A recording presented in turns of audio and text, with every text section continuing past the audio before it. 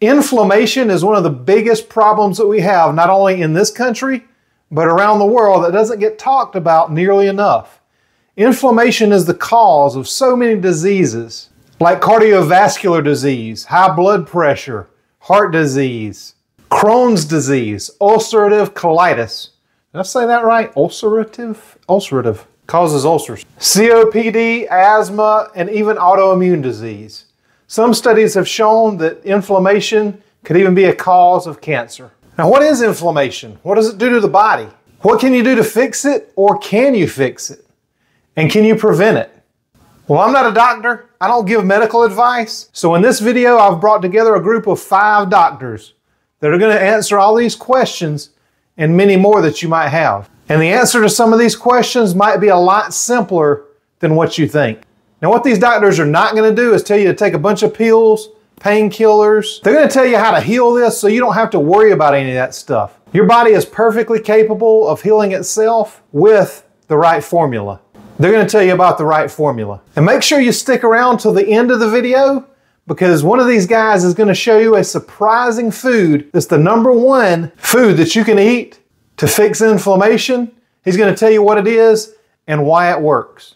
So let's go ahead and get right into this. Answer all your questions about inflammation right after this.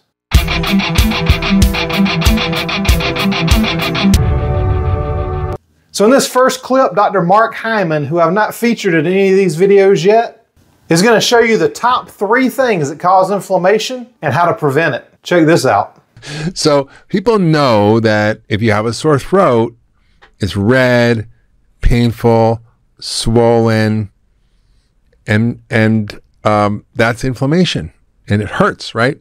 The, the the ancient description of inflammation was rubor, calor, dolor, and tumor. So tumor is swelling, rubor is redness, dolor is pain, and um, is heat, right? So we have to understand that those are the those are the cardinal features of inflammation. But then you go, well, I don't really feel inflamed. My throat doesn't hurt. My joints aren't swollen. I don't have a rash. What do you mean by inflammation? It's it's what we call hidden or silent inflammation. And that is the problem. It's the inflammation that we don't see, that we can't feel, that's causing all the chronic diseases that we see today.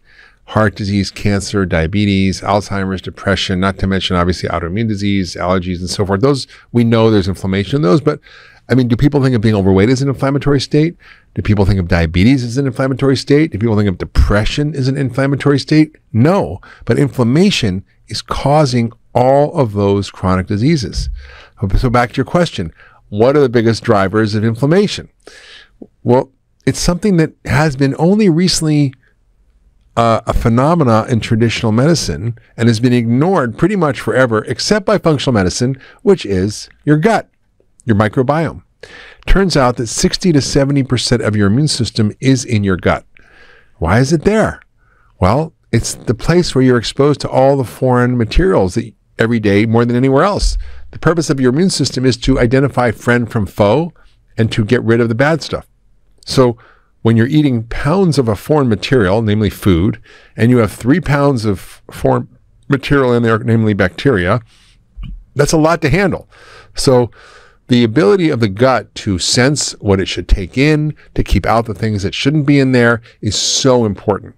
And so having a healthy microbiome allows us to properly regulate our immune systems and to let in the nutrients that we need, proteins, the amino acids, the fatty acids, the sugars and carbohydrates that we need, the nutrients we need, but it keeps out all the bad stuff. First line of defense. So when that barrier gets broken in the gut, all of a sudden your immune system is exposed to a sea or actually more accurately exposed to a sewer and and so that starts to piss off your immune system and you start to create systemic inflammation. So the microbiome is, is really important and we're just beginning to understand how to identify what's out of balance in there and how to correct the system. Traditional medicine is still very much behind the eight ball in this. Functional medicine is way ahead by 30, 40 years on understanding one, how to identify dysfunction in the gut, how to repair a leaky gut, how to reduce inflammation, how to restore a normal microbiome. Uh, there's a, a, famous Ayurveda quote uh, that really says if your gut's not healthy, you're not healthy. And if you want to fix disease, focus on the gut. So this has been known for a long time. Uh, actually, this idea wasn't new. Uh, Eli Metchnikoff at the turn of the 1900s was a scientist who first came up with the notion of the gut as a source of chronic illness. Uh, they had some wacky ideas about how to deal with it, which was take out your colon, which I wouldn't recommend. but they were on the right track, which is problems in the microbiome in the gut cause systemic disease. And the solution is not cutting out your colon, it's fixing the gut. But but it was it's not something that new. Uh, the other big source of inflammation is our diet, and not any um, random thing from our diet, but the amount of starch and sugar in our diet that drives uh, a dysfunction in our metabolism called insulin resistance. It's essentially like uh, where we become resistant to the effects of insulin, and our bodies need to make more and more insulin to regulate our blood sugar. And that is because we're flooding our system with pharmacologic doses of starch and sugar, about a pound a day per person, which is just historically unprecedented. And that insulin resistance causes the development of specific kinds of fat cells. They're called adipocytes. They're a specific kind of fat cells in the gut around your belly, your belly fat, that produce a class of compounds called adipocytokines. Cytokines, you might have heard about with COVID, are the cytokine storm. These are the messenger molecules of your immune system. And when you have a lot of these belly fat cells made from eating starch and sugar caused by ins- too much insulin and insulin resistance, it creates systemic inflammation. So it literally puts your body on fire. So if you're overweight, if you have diabetes, if you have high blood pressure, if you have heart disease, if you have dementia, these are all related to this phenomenon of too much starch and sugar and the systemic inflammation. We now know that, for example, if you have high cholesterol and no inflammation, there are very little risk for heart disease. But if you have high cholesterol and high inflammation, those are the people who are at risk for heart disease. So when you start to look at inflammation in the body, it's not what we can feel, but there are ways of measuring through laboratory testing the amount of inflammation in our body. But insulin resistance is a big driver of inflammation because it makes your belly on fire, literally. And these fat cells are just pumping out tons of inflammation throughout your body. The third thing that is really important to understand is that stress is inflammatory. Chronic stress causes inflammation in the body through a number of different mechanisms. One, stress makes you insulin resistant, so it'll contribute to just making you overweight and belly fat. Sometimes stress can be a very big factor in insulin resistance.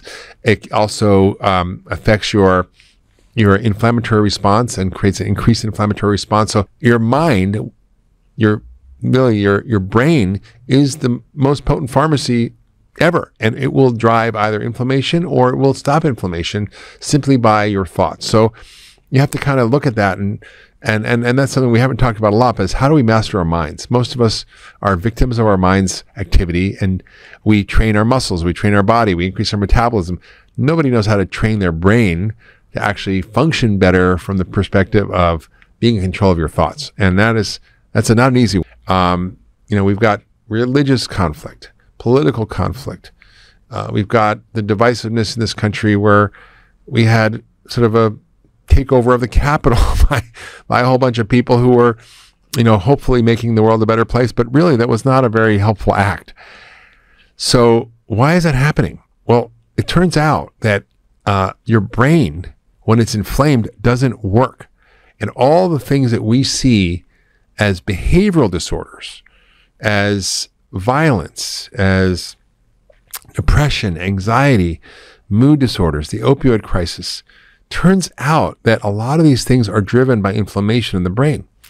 And, and what's happening often is that the inflammatory process diet that we have, the changes in our microbiome because of our diet, because of C sections, antibiotics, and toxins, and all the things that damage our gut microbiome, because of glyphosate. All that leads to inflammation. And when you have inflammation like that in the body, it disconnects the ancient limbic brain, the reptile brain, the fight or flight response from the frontal lobe, which is basically the adult in the room, your executive function, your higher self. So when your higher self and your lower self are not talking to each other, when your survival brain and your sort of mature grown up brain that makes sure you don't do or say or act in ways that are damaging or harmful to other people, that connection gets weakened or it breaks. And so when you look at, for example, diet studies in prisons or in juvenile detention centers, it's so impressive because simply swapping out healthy food, an anti-inflammatory diet for an inflammatory diet in prisons cuts violent crime by 56%. You know, a lot of stuff started off with good intentions that had bad consequences, right? In the uh, post World War II era, we needed to scale up agriculture to feed a hungry world, a growing population, to produce a lot of cheap carbohydrate, starchy calories. And we did a great job. we did a great job. The average American has 500 more calories than they did in 1970 available to them to eat, and they're eating it, which is why we're all so unhealthy. That was a good idea, but the unintended consequences have been devastating, not only to human health in terms of diabetes and obesity. I mean, when I was born, there was a 5% obesity rate. Now it's 40. It's an eightfold increase in obesity in my lifetime.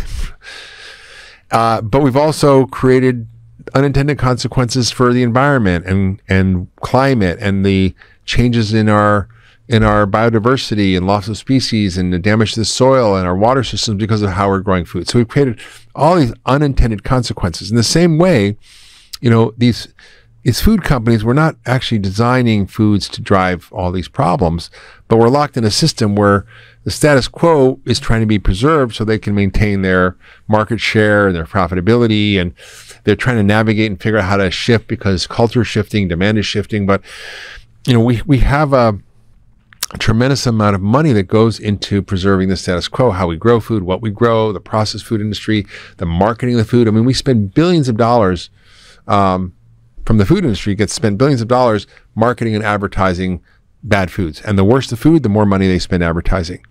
Uh, and and what's worse is it's it's hidden advertising now that's really a problem. And so these algorithms on the on these um, social media drive you into more and more of the same. So if you click on a conspiracy, one conspiracy theory, you're going to get fed 10 other conspiracy theories. so I met these people that believe in all these weird, seemingly disconnected conspiracy theories because that's, that's the universe they live in. So we live in these self-reinforcing information bubbles that are driven by algorithms. And the algorithms were there designed to give people stuff they like, to show them if they want a nice pair of shorts or a bathing suit that they might like. Or, Again, well intentioned. Well intentioned, but the consequences now, we sort of let the genie out and uh, it's out of control. Anybody with any chronic disease, inflammation is a player. Um, and and and so whether you have the typical things that we understand as inflammation, like autoimmunity or allergy or eczema or skin disorders, or whether it's the silent inflammation that's causing heart disease and cancer and diabetes and obesity and Alzheimer's, anybody with a chronic condition is typically inflamed at some level. So my job is to then navigate and figure out what's causing it. Because when you get to the root of inflammation, you don't actually have to treat the diseases directly. I don't really treat diabetes. I don't treat Alzheimer's. I don't treat heart disease. I don't treat cancer. I simply change the biology of the body to normalize function to reduce inflammation. And as a side effect, these things go away. And I think that's a really important concept because if we don't understand that um, root cause medicine is the way we need to go forward, then we're going to just be constantly spinning out on all these new drug treatments and spending billions of dollars to address this. I mean, they found out, oh, Alzheimer's is an inflammatory disease of the brain. So what do you have to do? Well, they did a whole study taking Advil. It didn't work and it caused all these side effects. Why? Because they didn't get to the root of the inflammation. Uh, recently, a big study came out on aspirin. Doctors have been saying take aspirin to reduce inflammation to prevent heart attacks. Well, I've, if you read my stuff over the years, I've always said bad idea. There are maybe some people who would benefit, but aspirin is not a side effect free drug and kills as many people as asthma or AIDS a year because of bleeding, stomach bleeding, gastrointestinal bleeding, brain bleeding, strokes, hemorrhage. So the recent studies show that, oh, sorry guys, we were wrong. You can't just take aspirin to reduce inflammation and prevent heart attacks because it's going to kill you. It's more likely to kill you than the heart attack. So stop taking it, which was a huge shocker because if you talk to any cardiologist or you talk to any primary care doctor, everybody was on board. And I was kind of shocked because I looked at the actual science that was supporting this. And I even look at the American College of Cardiology risk calculator. There's actually a calculator on the American College of Cardiology website to put in whether or not you would either get harmed or have benefit from aspirin. And most of the people who are on aspirin actually don't even qualify or didn't qualify according to the previous guidelines. Now there's a whole bunch of people who, who shouldn't even, according to those guidelines, be taking it. So I think that the, it's backwards to say we're going to shut off inflammation with anti-inflammatories or immune suppressants. I mean, they're talking about using drugs like Humira, which is a $50,000 a year anti-inflammatory drug that's used for autoimmune disease for depression. Why? Because depression is inflammation in the brain. The key isn't to shut off inflammation with the drug, is to get rid of the source of inflammation. It's just shocking to me that there really isn't a conversation about why. Oh, we know Alzheimer's is inflammatory. Oh, we know depression is inflammatory. We know heart disease is inflammatory. We know cancer is inflammatory. Okay, so we need to give you anti inflammatory drugs. There's no questioning of, gee, why in the first place is your immune system so pissed off? What's creating inflammation? And we know so much about it. It's not hard. It's, it's our diet, our inflammatory diet. It's stress. It's our microbiome issues. It's triggers that, for example, might be from latent infections or allergens or toxins. All these drive inflammation. So, as a functional medicine doctor, my expertise is in being an expert in understanding toxins, allergens, microbes, stress, and diet, because those are the things that drive inflammation. And so every individual has a different cocktail of things that are off. But my job is to figure out what is their particular triggers and get rid of them. So we're eating too many inflammatory foods. 60% of our diet in America is ultra processed food corn, wheat, and soy. And they're turned into all sorts of weird products. Uh, the corn is turned into all sorts of food additives and high fructose corn syrup. The wheat is turned into highly pulverized flour, which is highly inflammatory the oils that come from soybeans and corn are often um, highly processed and inflammatory. So we're eating a lot of, of ingredients that are derived from these commodity products and ultra processed food that uh, we're not even aware of. So when you read maltodextrin or something on a label, you don't know where that came from. That's a byproduct of corn from the from a science project in the factory. Uh, when you eat high fructose corn syrup, same thing. So we're eating ingredients that are made from commodity crops they're basically the same three ingredients made into all sizes, colors, shapes of, of chemically extruded food-like substances. So if you actually cover over the packaging and look at the ingredients, you literally would see the same ingredients on almost every processed food. We know with a few little tweaks here and there. And you can't actually even tell what it is by reading the ingredient list. That's an ultra processed food. If you buy a can of tomatoes, and it says tomatoes, water, and salt, you know what that is. If the ingredient list is, you know, 14, 15, 35 items, um, and half of them you can't pronounce, don't recognize, and wouldn't have in your medicine cupboard or your kitchen cupboard, then you should not eat them, right? I mean, why should we be eating butylated hydroxytoluene or, or, um, maltodextrin or all kinds of weird compounds that are not our natural food supply. So those are ultra processed foods, and it's a huge component of our diet, and it's highly inflammatory. So th- that's 60% of calories on average. And when you think of all the people who don't eat that much processed food, the people who are eating it might eat 70, 80%, right? When you average it all out over all Americans, it's about 60%.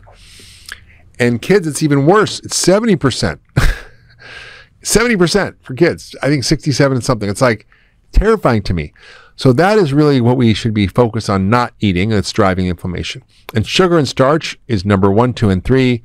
Um, all the food additives. We eat about five pounds of food additives a year, and they can be inflammatory. For example, all the thickeners, emulsifiers, things like carrageenan and gums that are used in processed food, uh, they often have something called microbial transglutaminase, which is a gluten product that they use to hold the food together.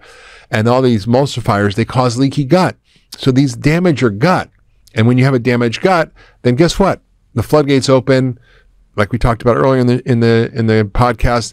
You start getting food proteins and bacterial proteins leaking into your bloodstream. Your immune system gets all pissed off, and it creates this vicious cycle of inflammation. So, eliminating all that weird stuff is so important. If you read the label and you don't know actually everything that's on there and you can't pr- pronounce it, you wouldn't have it in your medicine cabinet, don't eat it. Yeah, so we, we, we have a system in our body to control inflammation, and that system requires nutrients, and many of us are nutrient depleted. So, for example, a multivitamin will reduce C-reactive protein, and it does so by activating all sorts of enzymes. So, vitamin, what are vitamins and minerals? They're basically helpers. One third of your entire DNA codes for enzymes. What do enzymes do? They turn one molecule to another molecule, one chemical to another chemical in your body. And all the enzymes we need, we have require coenzymes or cofactors, helpers.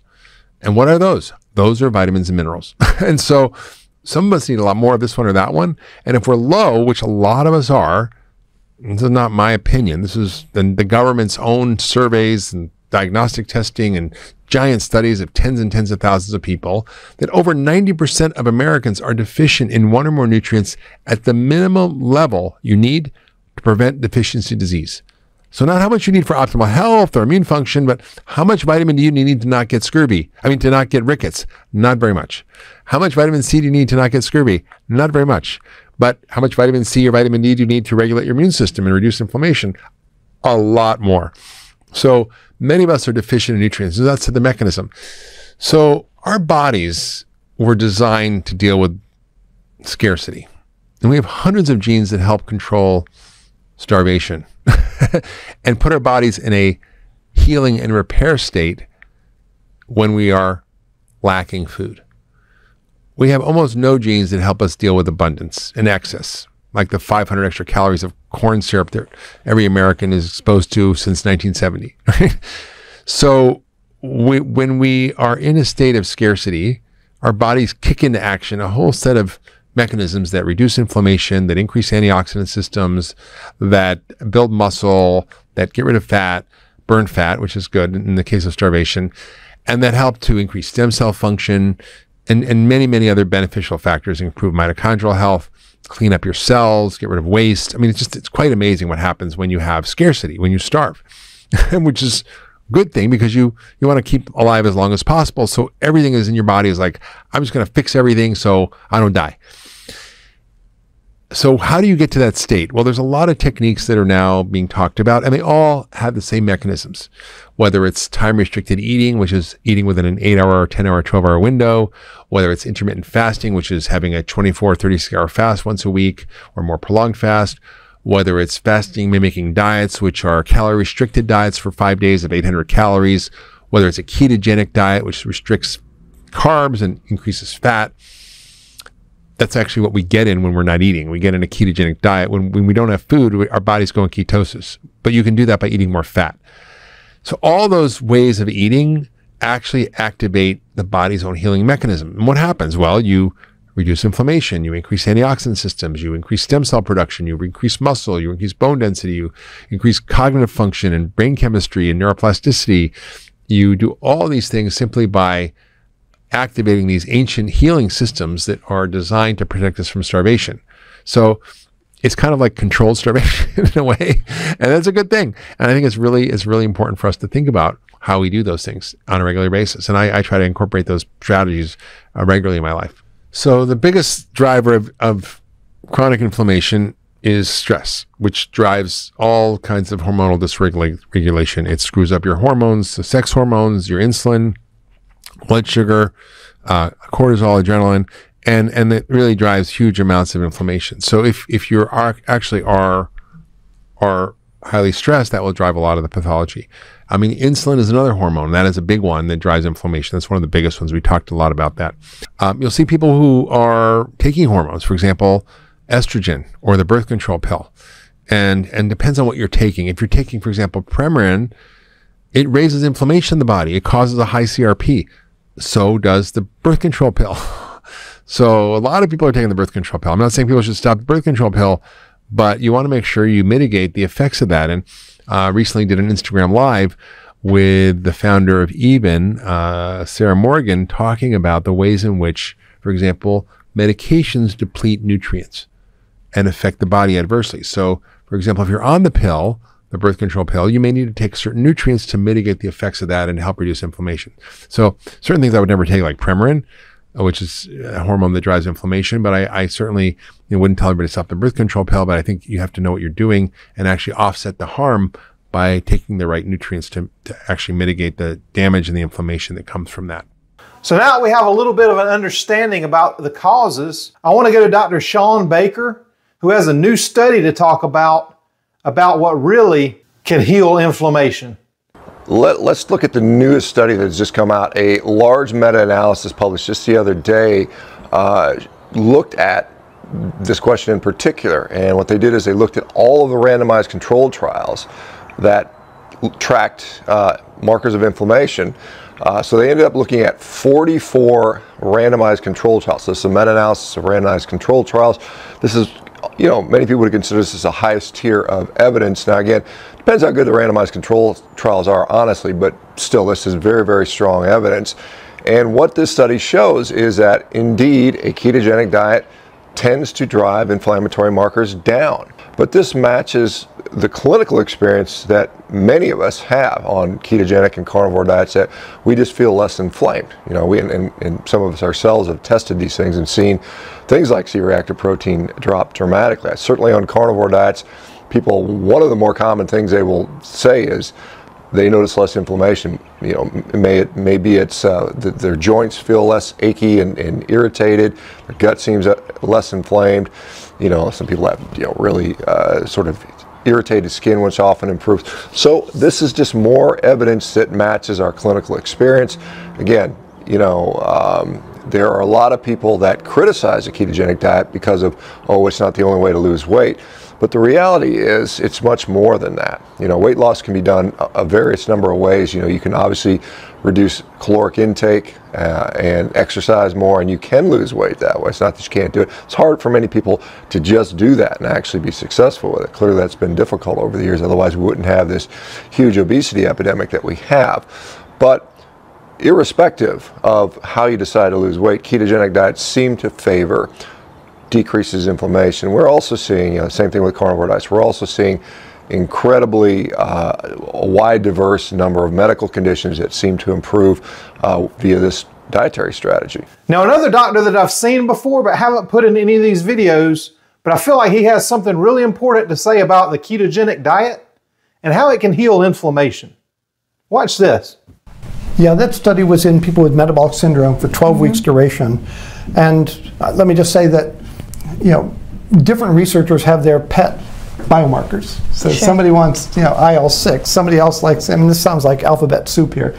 Um, uh, yeah. IL-1 beta or TNF alpha or IGF-1, um, PAI-1. I mean, these are all, so rather than pick somebody's favorite and, and upset somebody else because they, we didn't pick their favorite, we studied 14 biomarkers mm -hmm. in these people after 12 weeks. Uh, at, after 12 weeks, um, for all 14, none of them had a superior response, that is a, a greater lowering in the high carbohydrate, low fat group. Mm-hmm. So none of them were better off compared to the, the low carb ketogenic group. The key, low carb ketogenic group, seven out of the 14 were not just lower, but significantly lower. Sure. So which and both of them were weight loss studies. They were, both groups lost weight. But the ketogenic diet markedly and consistently downregulated a, a number of biomarkers. And by the way, those are also bioactive compounds. They're also doing things. So we were changing inflammation at a number of different cellular sites within the body in a, in a coordinated way. And we think that's much better than targeting one single biomarker and making that go down, is what which is typically done with drugs uh, that are targeted for anti-inflammatory effects. Sure. Now, one of my favorites, Dr. Eric Berg, he's going to get into 10 things that cause inflammation, what you can do about it, and why you want to. Most of the inflammation that a person has actually is being caused by their own immune system. And we really have just two basic uh, phases of inflammation. You have the acute phase, and then you have the chronic phase, where you have this incomplete healing. Inflammation is there to try to heal something, but if there's a constant stimulus, which I'm going to cover all of them today, you're not going to get to a point where you can actually resolve it. So I want to cover all of the different uh, things that can occur, and then I'm going to cover all the things that you should do to resolve it. The number one selling drug in the world is an anti-inflammatory drug. So a lot of people have inflammation, but most autoimmune cases actually originate in the gut. But let's start with number one gluten. Okay, that's in grains. Gluten really tears your stomach up. There's a morphine like substance when you have this immune reaction. So in reality, it can numb the area so you don't feel it while the damage goes on. So gluten is behind so many different issues, okay? And then we also have food allergies, like intolerance to milk sugar, but that's not necessarily a true allergy. A true allergy involves a protein, like an allergy to casein, which is a protein in milk. So just by taking a person off milk, boy, all sorts of things can clear up. Number two, ultra processed food ingredients that are made from industrial processed corn, okay? They go through a huge uh, series of chemical reactions to the point where they no longer resemble the original corn. You've heard of cornstarch and maybe modified food starch, this maltodextrin. Highly reactive in the body, and so it behaves like a sugar, but it's classified as a starch. And then we have the deadly seed oils, which are again highly refined. Well, a lot of people do dirty keto and they go to a fast food place, they eat the burger, not the bun, and they seem to do okay. You know, it's the bun with the burger and the ketchup and the soda and the fries all together that creates the problem. Now, if you like these compilation videos and they help you out, please consider sharing them with somebody you think they might help. And if you're not subscribed, it'll light up right down there for you. Just hit that subscribe button and you'll know anytime I make another video like this. You want to cook with tallow. You want to use uh, coconut oil, extra virgin olive oil. You don't want to use vegetable oils, especially when you use heat. All right, number three, viruses. A lot of people have um, certain inflammatory conditions that come and go. That's because a virus kind of can go in remission and out of remission. All right, number four, insulin resistance. Okay, if you're doing a lot of uh, snacks, frequent eating, and you're doing carbs, you can get insulin resistance. Most of the population has insulin resistance. The next one is just not enough cortisol. Let's say, for example, you went through chronic stress for many years, or um, you had prednisone for a period of time. What happens, you develop what's called a cortisol resistance to the point where you don't have enough cortisol and then the body becomes inflamed. And the remedy is vitamin D. Number six, old injuries, and that is me. Okay, I had a lot of old injuries, and it really has to do with a lack of motion. If a joint doesn't move, or if you don't move, you're sedentary, you will develop inflammation. All right, next one, sludge in your bile ducts, a super concentrated cholesterol material. Okay, what keeps it from becoming a stone is bile salts. And when it starts to get stuck in your bile ducts, it backs up into the liver and causes pain in the right shoulder or in your rhomboid back here or in your neck. That can be corrected by a healthy diet. Next one is iron, too much iron.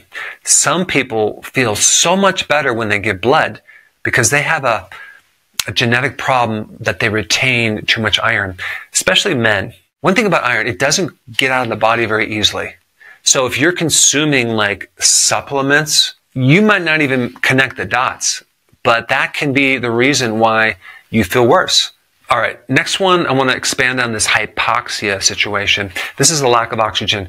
If you have uh, chronic uh, obstructive pulmonary disease, COPD, in your lungs, you can have hypoxia. You're not getting the oxygen. Hypoxia causes inflammation. All right, then the next one is uric acid. It's one of the main causes of high blood pressure, and it comes from consuming a lot of fructose, as in high fructose corn syrup. What can you do about this, right? You need to fix the, the microbes in the gut. The lactobacillus and the bifidobacteria. And you can find those two in kefir, sauerkraut, kimchi, and just getting a probiotic.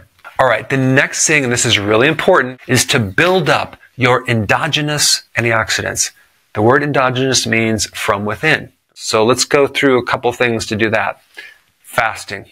Next one, cruciferous vegetables and salads. Exercise. Another thing is cold therapy. Next one on the list is vitamin D3, the most potent anti-inflammatory. Vitamin D can just put some order into your immune system that can help regulate that immune system a lot better and at least 10 to 20,000 IUs. All right, number four, I already mentioned this, fasting. You should be doing regular intermittent fasting, and periodic prolonged fasting if you have any inflammation. Number five, low carb. This is called keto. Number six, carnivore if you have gut inflammation. Really, red meat is probably the, the most healing thing that you can possibly eat. And I'm talking about grass fed, grass finished. Now, the next one on the list, I talked about that bile sludge. The antidote to that is something called TUDCA. Take two in the morning, two in the afternoon, empty stomach. It will open up those ducts and allow the sludge to get through and give you a tremendous amount of relief, especially if you have bloating or this right shoulder pain. Next one is tocotrienols. I already talked about that. Great for anything related to the heart. I already mentioned cold therapy as well. That's number nine. And I also mentioned number 10, stretching and exercise. And 11, omega-3 fatty acids, fish oils. I recommend the cod liver oil because it has the vitamin A and the vitamin D. If you compare the seed oils, the omega-6, to the omega-3, the cod liver oil, the fish oil, the salmon. Now, if you've watched any of my videos before, you know I love Dr. Berry. And in this segment, he has some unfortunate news that red meat does actually cause inflammation in some people. He's going to tell you who they are, and let me know what you think about this. And there is a subset of people for whom red meat, even talking about it, is very, very inflammatory. So it seems when you look at each of the websites that claimed that red meat is inflammatory, such as Cleveland Clinic and Harvard School of Public Health, they believe very strongly in a plant-based diet. They've got a preconceived notion that you should avoid red meat and that you should eat lots of plants. Um, some of them say you can eat some fish or some, or some poultry, but all of them say without a doubt you should minimize or eliminate red meat from your diet. So it seems, it turns out, that the only way that red meat causes inflammation is in the minds and the hearts of plant-based believers. It seems that in actual humans who are eating the meat, it doesn't cause any inflammation whatsoever. But if you believe in a plant-based diet and you hear about someone eating red meat, you're liable to get mentally inflamed. Now, Dr. Mark Hyman is a really great doctor. I showed him earlier on this video. He's going to talk about some of the top causes of inflammation, a couple you haven't heard yet, and how to treat them naturally because you don't need to go to the doctor and take a bunch of pills to heal this when your body can heal itself with these things that he talks about. Inflammation isn't just there randomly, it's there because there's something causing it. So, what are the causes and drivers of inflammation? Well, basically, number one, two, and three is diet. And guess what? the number one, two, and three in diet thing is sugar, sugar, sugar, or the equivalent of sugar, starch, starch, starch. So anything that's sugar and starch drives inflammation, particularly high fructose corn syrup. Also, inflammatory fats may be a factor. So lots of refined oils, not enough omega-3s, trans fat, which have been ruled not safe to eat by the government, but they're still everywhere in food. I don't know how that works, to be honest with you. I guess there's little loopholes that the food industry gets to give them maybe years or decades. But this was 2005, seven years ago. They said, Hey guys, trans fat kills you, not safe to eat. Don't use it. But if you go to the grocery store, you can find it everywhere, which is terrifying. I mean, more and more companies are removing it, but it's still there. Also, what else can cause low grade inflammation? Sitting on your butt. Not exercising. Exercise is a powerful anti-inflammatory. Not over-exercising, not running a marathon, but doing a moderate amount of exercise every day really helps lower inflammation. Stress, another big cause of inflammation. So nothing we knew about stress. It's out there. Bad things happen. Reading the news. I try to stay away from the news, by the way. It's so stressful. like I figure if something really bad's happening, I'll, I'll hear about it. Um, but but uh, the key is to find habits and behaviors that reduce your stress response. Meditation, yoga, you know, hot and cold therapies, massage, breath, breath work, whatever whatever works for you. Try it. Uh, also deal with um, toxins. Toxins are also inflammatory. They're called immunotoxins. Low levels, pesticides, chemicals, uh, petrochemicals, heavy metals. I encourage you to go to the Environmental Working Group's website, EWG, and find out how to reduce your exposure through food, uh, including fruits and vegetables, animal products, fish, household cleaning products, and even skincare products. I mean, did you know that lead is in a lot of lipsticks? that a lot of skincare products have petrochemicals that get absorbed through your skin and get in your body and cause harm? Yeah, don't don't be doing that. So, what is inflammation? What's the big deal? Why does it become so dangerous? Well, Inflammation is a natural part of your body's function. It's essential. Yes, you cut yourself. What happens? The white blood cells gather.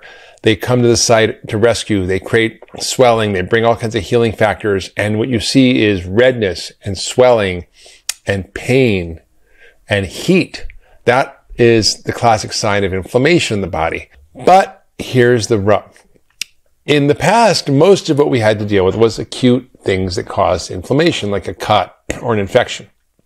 But today, our modern lifestyle is driving so much hidden inflammation, systemic chronic inflammation, silent inflammation. It's a silent killer. And it turns out that it's not the kind of inflammation that we are familiar with, like a sprained ankle or a sore throat or something that's an obvious kind of inflammation, the kind that's good.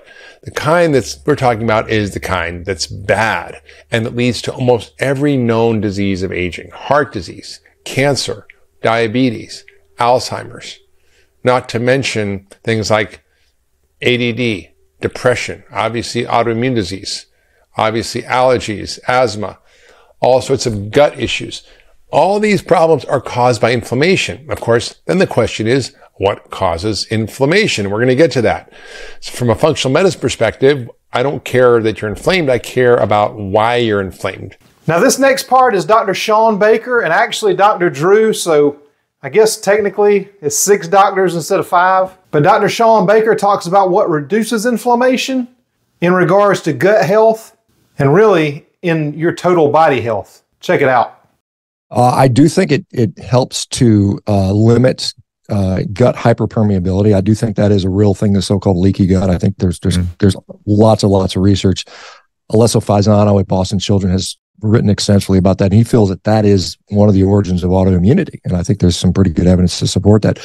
So uh, the researchers in in Europe uh, have looked at this and they've actually studied carnivore diets in the context of gut permeability, and they've shown conclusively through something called PEG 400, polyethylene glycol 400, that when you put somebody on a carnivore diet and you administer PEG, you know, polyethylene glycol, that the absorption is decreased dramatically, which is consistent with an intact, you know, gut barrier. I mean, our, our gut is yeah. semi-permeable. There's obviously things have to get in, and we mm-hmm. never absorb food. But it, there's a there's a mm-hmm. issue where it becomes hyperpermeable, and I think that is probably one of the major things that occur. Also, I think it's just good nutrition, and I think also just the elimination of the garbage because I think you know I think seventy percent of our garbage our diet is garbage these days, and you know as, as yeah. you probably notice on carnivore, there was some level of lack of cravings. I don't know. I mean, most people will comment on that. Oh yeah. oh no, that was a that was one of the great advantages. I didn't want. To, I just yeah. when I, I, ate when I was hungry, and that was that. it was yeah. And it's, it's it was it's, a great. It was a, it was a freedom. You, yeah, it is. It is freeing in that regard, and and that's the problem. We have so many people that are addicted to these hyperpalatable foods, which are absolutely 100% mm-hmm. designed with that intent. I mean, so let's go back to Dr. Berry one more time because he talks about the proper human diet and why it's the best diet for inflammation. And it's my belief, as I believe it is his, everybody's definition of a proper human diet is a little different. You have to figure out what works for you and what your proper human diet is. There's some basic foundational groundwork for a proper human diet, but then the building blocks off of that are a little bit different for everybody. So, what's yours? Let's let him talk about that just a little bit. But I don't think the majority of us need you know seven to ten cups of salad or or lots and lots of vegetables. I don't even think currently. I don't think the average human. I don't think the majority of their plate needs to be covered with vegetables or plants of any kind at this point. I think the majority, the over at least 50 to 99.9 percent of your plate should be covered with fatty meat and eggs with the yolk. And if you want to add some some some veg, some berries, some nuts, I think that's probably fine for most of us, not all of us.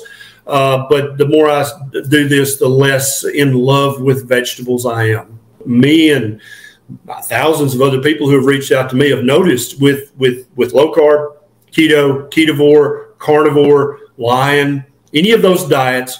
And you know as well as I do, when you start eating a diet that's that's very rich in healthy protein and healthy fat, you just automatically you don't eat as often you don't have to snack and so you you effortlessly in in many cases unconsciously you just start to do some daily intermittent fasting and you may not even know that's what it's called And then uh, before long, you're like, man, I, I think I'm going to do a 24 hour fast.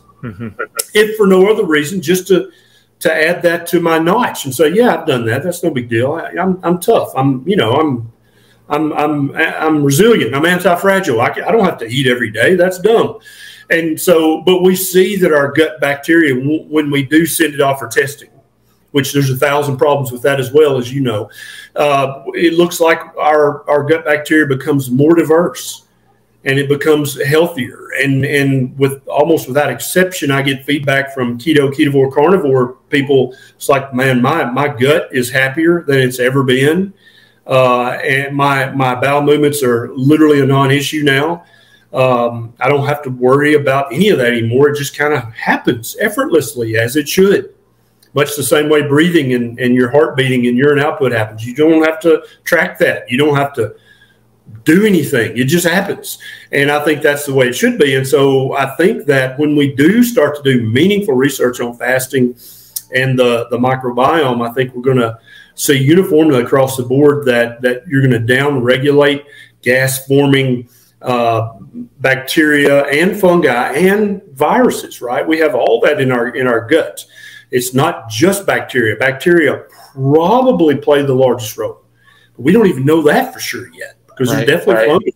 there's definitely viruses, and we have especially examples in other species where fungi can literally hijack not just your gut, they can hijack the entire organism and make it do things that are exactly contrary to it living right? There's there's the zombie ants there's tons of youtube videos there's cockroaches that can be their entire system be hijacked by this fungus and it makes them go and do things that are just insane from the ants perspective and so you know that not only has that fungus hijacked the the, the, the ant's body but also its mind as well. And so uh, I think uh, this is one of the reasons a lot of people notice that the sugar addiction, the carb addiction, all that kind of stuff, the food addiction, the the, the disordered eating.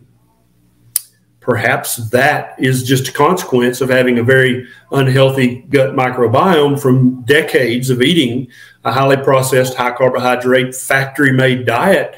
Maybe that encourages the wrong bacteria, fungus, virus and they're actually using the vagus nerve and other pathways to literally zombify you and make you just sit on the couch and eat more jelly donuts. But we don't know that for a fact, but that makes a lot of sense when we look at other species in the animal kingdom.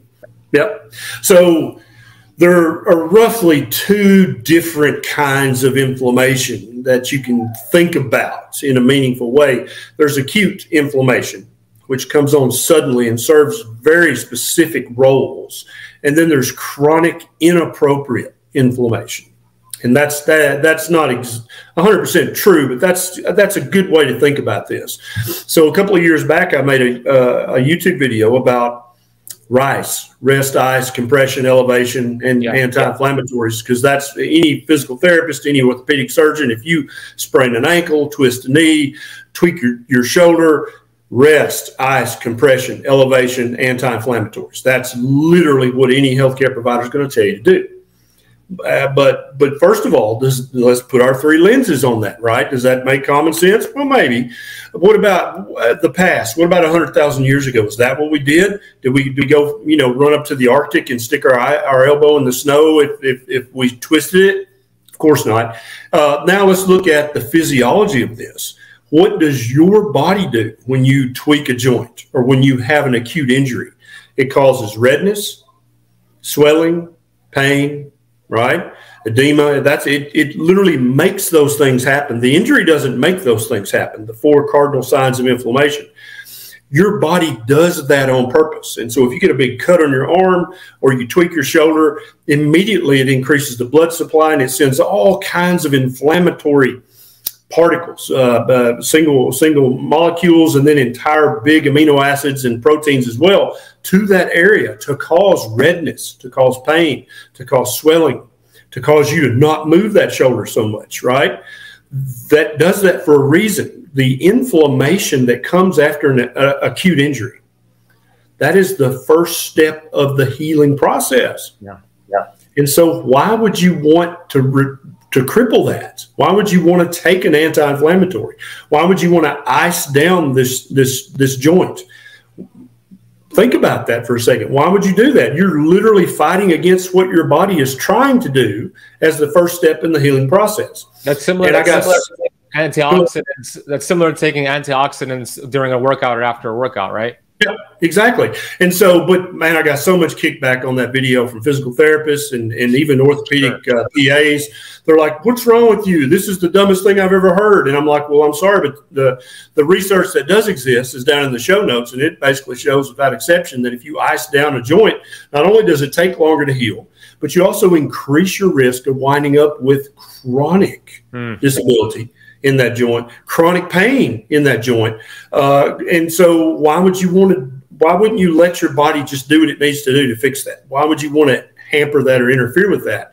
Uh, and so now let's talk about chronic inappropriate inflammation. And I think we need to say it that way so that people understand we're talking about a completely different thing. A, a sprained ankle is supposed to be inflamed. That is good you should be very happy your ankle's swollen up three times its normal size. That's not dangerous. That's not bad.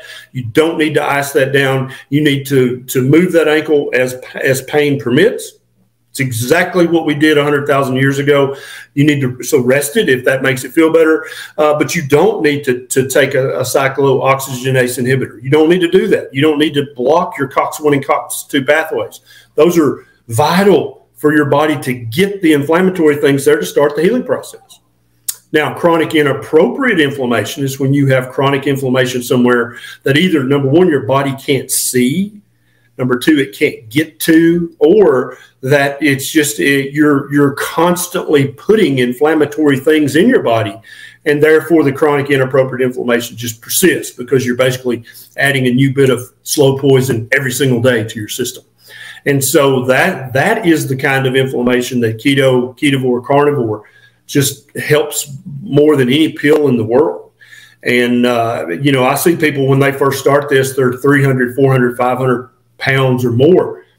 And, and, and so the average weight loss guru would say, well, you need to eat less and move more. But when you when you tell somebody who weighs 500 pounds you need to move more, like literally they don't feel like getting up and going to the bathroom. Mm-hmm because they're so inflamed. They're so miserable. They're so sick. All their joints hurt. All their muscles hurt because they've been poisoning themselves several times a day, every day for decades. That person cannot move more. Literally, it's it's it's uh, the most insensitive thing in the world. If you say that to somebody like that, they you should just have your your face slapped because it's a slap in their face to say something like that to them. But also, you've seen this many times, Ben. I'm sure when somebody does start to lose the weight, yes. But what are they also doing in the background at a cellular level? They're decreasing the chronic inappropriate inflammation in every cell in their body, every joint in their body, every muscle in their body, all the connective tissue and fascia.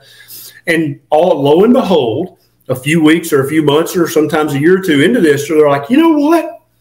I feel really good today. I think I'm gonna fill in the blank with, exercise. I'm going to go for a walk. I'm going to go for a bike ride. I'm going to go swimming. I'm going to get out and play with my grandkids for the first time in how many years?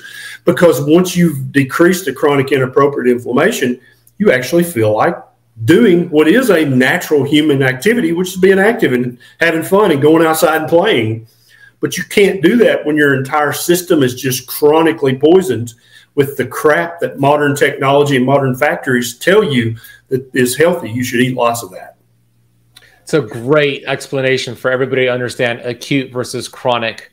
And that's exactly what happened with me, the way that you explained it. I started to change my nutrition and the weight started to come off. And then I felt a little bit better to start exercising. And that's exactly what I did 14 years ago without even realizing that was happening. And you're right. When we see a health educator, a personal trainer, a fitness coach, or whoever it is saying, yeah, just exercise more and eat less. It's very easy. That is a huge disservice to that person. And that's a big red flag that we don't focus on the calorie cutting. We focus on reducing cellular inflammation. And you do that with so many of the tools that Dr. Ken Berry teaches about. So let's talk about what are some hidden causes of inflammation on keto. Let's say somebody's been doing for keto for three months, but their inflammation is still up. What are some hidden things that might be going on?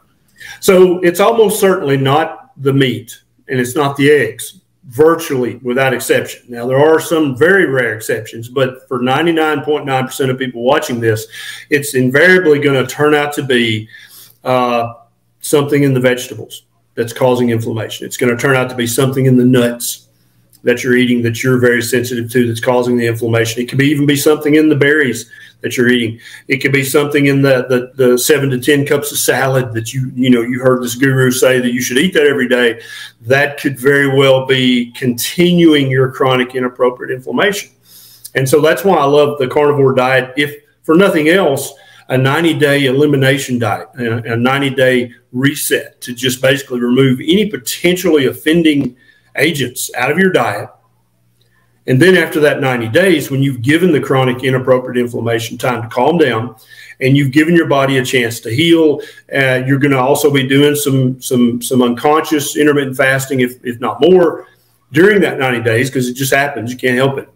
Then your, then your rate of autophagy, your rate of mitophagy are going to increase. You're going to start replacing old damaged cells and mitochondria and tissues. And before you know it, you're going to feel much better overall. And, it, and it, it, most people describe it as just a, a whole body sense of, man, I feel better. It's, it's not necessarily a certain body part feels better. It's just, I just feel better. And I think a big part of that's mental as well. Don't you, Ben? I think, I think a big part of, of mental illness, of disordered eating, that comes from this chronic inappropriate inflammation. And perhaps our gut bacteria, viruses, and fungi telling us to do inappropriate activities that are not really for our reproduction and long life. Actually for the bacteria or the virus or the fungus. Uh, but but I think that that's why the the 90 day beef butter bacon and eggs, like Neil just said in the comments, that kind of thing. Then you can start to add back in. Well, let's try some broccoli. Let's see what happens. Let's try some spinach. Let's try some of those cashews because I freaking love cashews. Same, I do too. But I know that I know for a fact now because I've done the personal experiment multiple times because I keep thinking, well, then maybe it wasn't the cashews because I sure do love them. But then every time I add them back, it's like, shit, yeah, it was the cashews. Okay. All right. Yeah, exactly. Same goes for cheese for me. Maybe not everybody, but for me, definitely uh, even real full fat fermented cheese, hard as a rock, you can throw it to, at somebody and knock them out. Uh, too much of that still causes inflammation. And, what about and, goat, goat and sheep? Are you good with that? Yeah, and that's great. So let's let's just go right into dairy because I think that's a very important topic that, that we all need to not only discuss but think about. Think about this very carefully. So I do think, without a doubt, for most people, goat and sheep's milk is less inflammatory than the the average uh, bovine or cow's milk you would get in the grocery. Uh, but now, common sense, right? Less bad does not equal good. You have to come to grips with that. Less bad does not mean good. Uh, a lot of people will misphrase that. They'll be like, "Well, goat's milk and sheep's milk that's much better," and I think that's that's that's not the right way to say it because if you say that better, that implies, "Wow, that's good." But I don't think we need to imply that because I think there's a, a, a, a, in the same vein, I think raw milk, if properly handled, is less inflammatory and less bad than the homogenized, pasteurized factory milk that you get in, in the supermarket. But that does not make it good. Okay. There is no mammal on the planet that drinks milk as an adult unless human beings are involved. Milk is a great source of calories. If you are starving to death, you should drink all the milk you can get your hands on of whatever quality. But if what you're trying to do here is optimize your health to be as physiologically and as mentally young as possible and as uninflamed as possible, then it's highly likely that any part of dairy other than butter or ghee which are essentially just the fat component of dairy, which I think the fat component's fine for most everybody.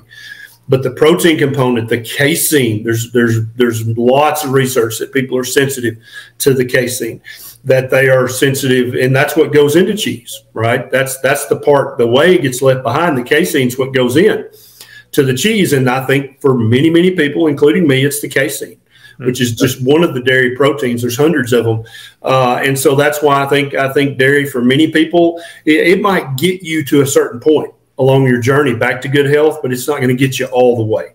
And that when I first started keto, son, I was smashing some cheese, the Parmesan, uh, the Romano, all of it. I was wearing it out, the goat cheese, the sheep's cheese, and I still love it all. So once again, this is a guy, I grew up, I was a milk baby. When I was in high school, I played three sports and I would drink a gallon of 2% milk every single day nice. because I thought that would make me strong and, you know, everything that a 15 year old boy wants to be.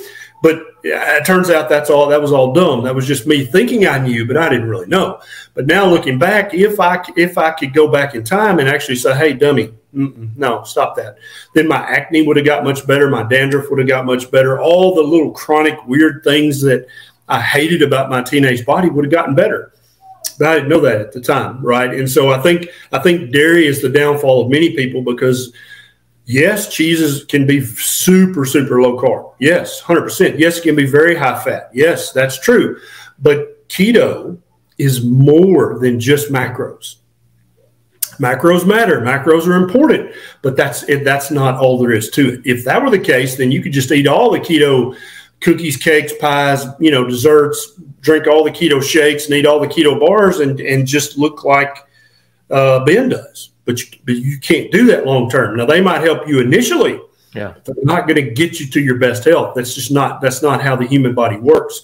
You have to eat things that are ancient. You have to you have to honor this body. You have to honor where it came from, honor what got it here, and if you don't do that, you will suffer to the degree to which you dishonor your DNA. There's thousands of people in the challenge. We have a combination of those who are brand new to keto those who have been doing it for months to years. Just to kind of recap with what, what Dr. Ken Berry said, he's not saying that dairy and vegetables, he's not saying that you should not have dairy and vegetables. He's saying if you're new to keto, maybe that's a good transition for you to get into more of a healthier lifestyle. But eventually, there's going to be a point, and I agree, where you need to upgrade your results. You want to upgrade what you're getting. So that at that point, it might be a good idea to explore. Okay, am I having casein? Am I having too many uh, cashews like Ken Berry was having, do I still feel optimal or do I still feel a little off? And you start to eliminate a few things. That's where carnivore could be so terrific. It's the ultimate elimination diet. You do it, and then when you experience those amazing carnivore benefits 60, 90 days in, you could do that experiment. Let me introduce cashews back into the mix. Oh, I got joint pain again. Okay, cashews don't agree with me. But it's so custom to you and your unique needs. Somebody could have those foods and feel really great. Most people probably not. So I hope that kind of unpacks it. Is that fair to uh, kind of yep. that, Ken? Okay. I think that's well said. Yeah. And let's go a step further, Ben. Let's not just say that the standard American diet's a fad diet. I totally agree. But let's also go a step further and say, well, what about the American Diabetes Association? What about their recommended diet? Does that diet have lots of, of randomized controlled research showing that it's safe for long term human consumption? No, none. What about the American Heart Association's DASH diet? Has that been proven to be safe and effective for long term use in humans? Mm-mm. No. What about whole food plant based? Has that been proven to be to be safe and effective for long? No, none of this. So none of these diets have the proof that they then turn around and say, well, you need to do long term term studies in keto before you recommend it because we don't know if it's safe or not. Well, where are the long term studies on the, the ADA diet, the AHA diet, the whole whole foods plant based? Where are the long term studies showing that you're not going to develop vitamin or mineral deficiencies, that you're not going to develop omega 3 fatty acid deficiencies, certain amino acid deficiencies? There's none. There is no research. And so uh, the, the keto diet, ketovore, carnivore, they are just as unresearched as all the other diets that, that your doctor actually recommends. You know, that little handout that they give you here, eat like this. There's no research to support that handout. None, no meaningful research whatsoever. And so don't feel like you're doing some weird sciencey, oh my God, it's keto. It sounds really weird. No, all you're doing is you're removing all of the modern foods. And let's put that in quotes modern foods. You're removing all the factory made crap and you're just eating real human food that we've had access to for tens of thousands of years. Right out of the gate, how could that even be dangerous? You're eating foods that we've eaten since before we even started recording history. That can't be dangerous. That has to be good for you. And so when you compl- compare two ounces of one food versus two ounces of the other another food, how many vitamins, how many minerals, how much uh, amino acids, how many fatty acids. When you compare two ounces of any meat, even the cheapest supermarket beef you can find, even spam, even uh, what's the cheapest meat you can, bologna, right? Just the cheap bologna. It is still more nutrient dense than two ounces of the most pristine, non GMO organic vegetable whatever your favorite vegetable is, and you can actually look this up and compare the nutrition density between any any plant and any animal. The animal food is always more nutrient dense. It, it's literally not even a conversation. It's not even close. The meat always blows the veg away every single time. Uh, but you'll learn that as you come, as you see, and there are charts people have done. They've compared blueberries or kale to red meat, and it, the red meat just blows the kale away. It's not even close. But we've been taught our entire life that kale is a superfood, blueberries, acai berry, all these plants are superfoods, when in reality, the ultimate superfood is animal liver. That's the ultimate superfood. There's nothing that even comes close to that, Naomi. But uh, I, I, totally understand where you're at right now.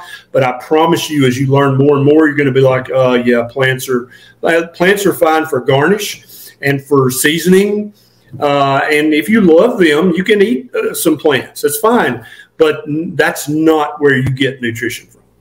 Now, last but not least, I promised you the number one food that you can eat to help reduce inflammation and why it works. Here's Dr. Berg to tell you all about it. So, now let's talk about the most important food to get rid of your inflammation. This food has a very high level of glutamine. In fact, if you look at all the foods out there with the highest level of glutamine, it would be this food. But let me just explain what glutamine is. It's an amino acid for your colon cells, which is a single layer of cells that line the inside of your colon. This forms the barrier to your immune system deeper inside. But your intestinal cells are very hungry for glutamine. In fact, out of all the glutamine, they hog like 30% of it, okay, for themselves. Glutamine is very important in producing ATP energy. Glutamine fuels the intestinal layer of the cells as well as the mucosal layer where all the good bacteria hang out. And glutamine supports tight junctions. You see, I originally talked about this gut being a source of inflammation, but I didn't describe exactly what's occurring.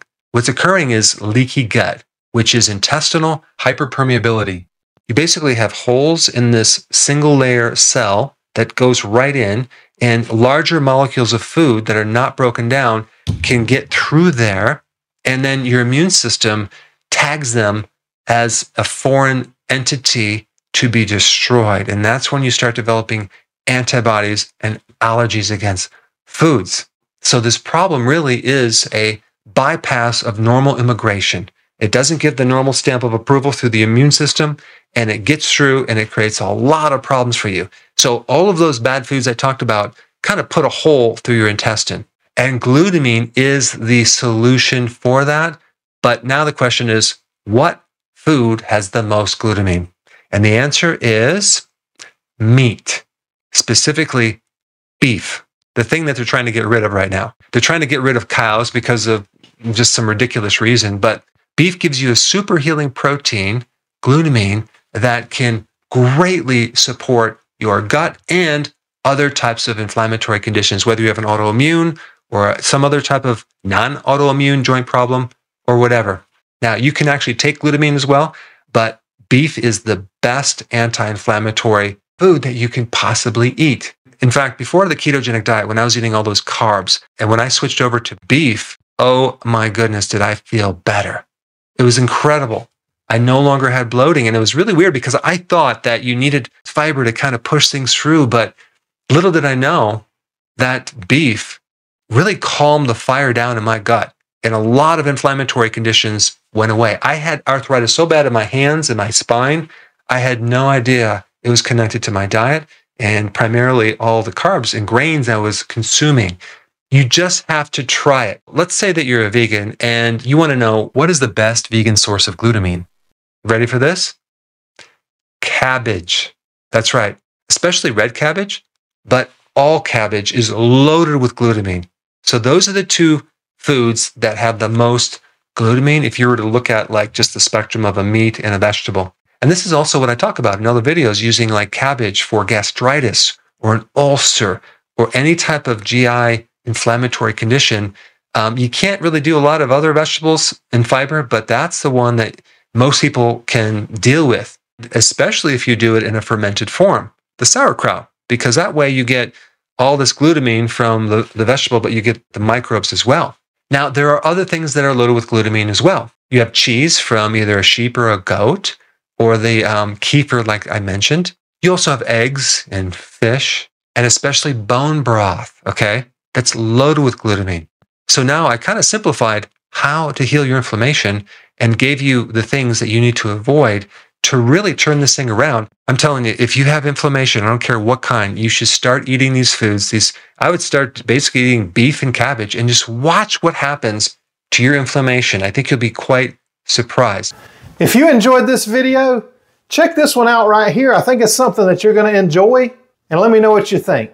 Thank you so much for watching and I'll see you on the next video.